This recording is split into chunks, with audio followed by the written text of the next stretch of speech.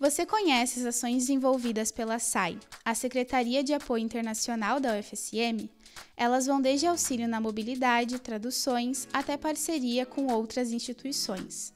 Atualmente, ela atua a partir de três eixos: a internacionalização em casa, o FSM no mundo e diplomacia universitária. Nós estamos em processo de reestruturação da SAI, que vai partir de Secretaria de Apoio Internacional para uma Diretoria de Relações Internacionais e que nós teremos três eixos principais de ação. O primeiro deles, que é o que nós passaremos a atuar ainda no decorrer desse ano, mas nos próximos anos da gestão, é promoção da internacionalização em casa, tá? com melhores ações para a internacionalização do campus, sinalização do campus, a internacionalização dos técnicos, dos serviços que atendem os estrangeiros, a recepção dos estrangeiros e também a internacionalização científica.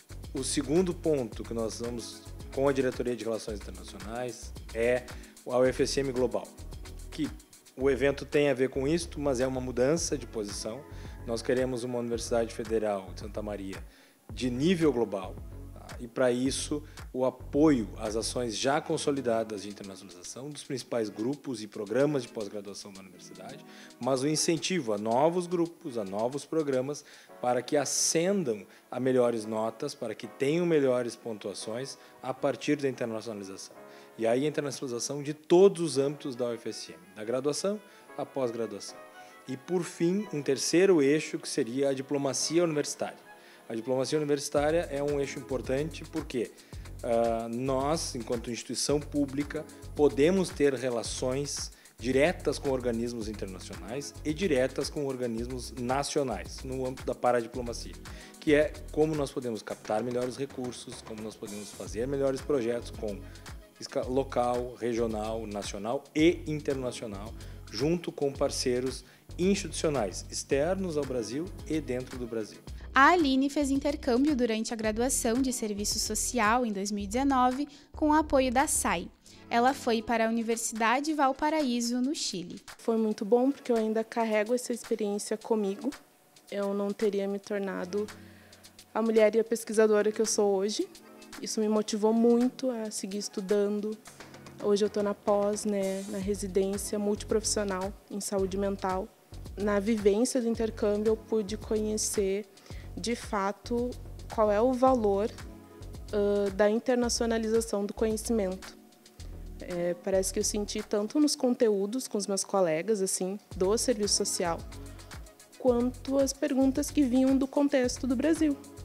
Né? Às vezes perguntava da cultura, da política, e eu levava o meu posicionamento é, comigo também, né?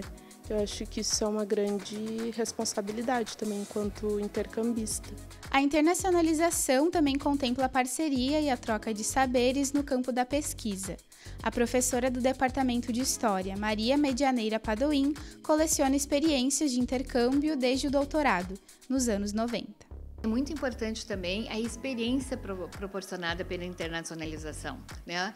Não apenas, uh, mas também a produção de artigos e divulgação do saber através de publicações, mas a experiência, por exemplo, em ir para outros países, né? Receber pessoas de outros países, tanto os professores, os docentes, quanto os discentes, né? tanto graduação quanto mestrado, doutorado, do pós-doc.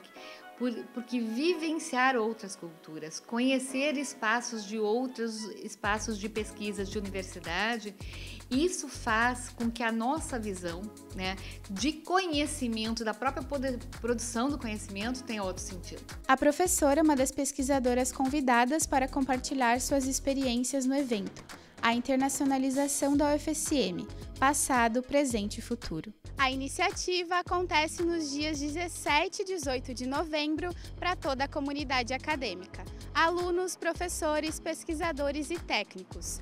Com quatro mesas temáticas, o evento mostrará oportunidades de internacionalização em quatro regiões do mundo: Ásia-Pacífico, Europa, América do Norte e Sul Global.